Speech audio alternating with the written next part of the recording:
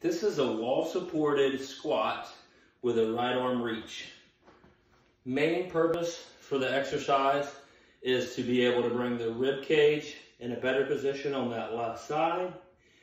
Once that rib cage is in a better position, we'll be able to feel the left internal obliques, left transverse abdominis, the left abs more engaged. So let's get started.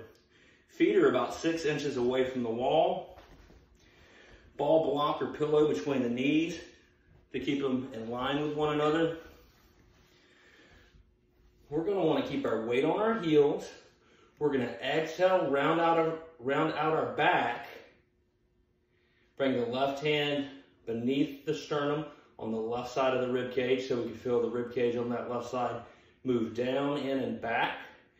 We're gonna reach forward with that right arm. Fully exhale through pursed lips. Pause for three seconds after the exhale. Then gently inhale through your nose with the tongue on the roof of your mouth.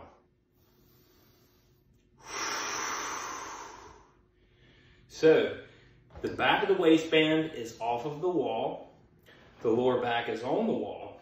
Back of the shoulder blades are off the wall. Our weight stays on our heels. Left hand is on the rib cage, the left side.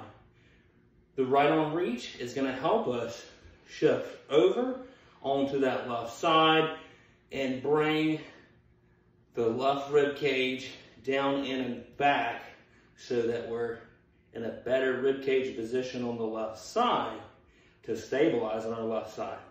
You should feel quads working eccentrically and the abs working on the left side.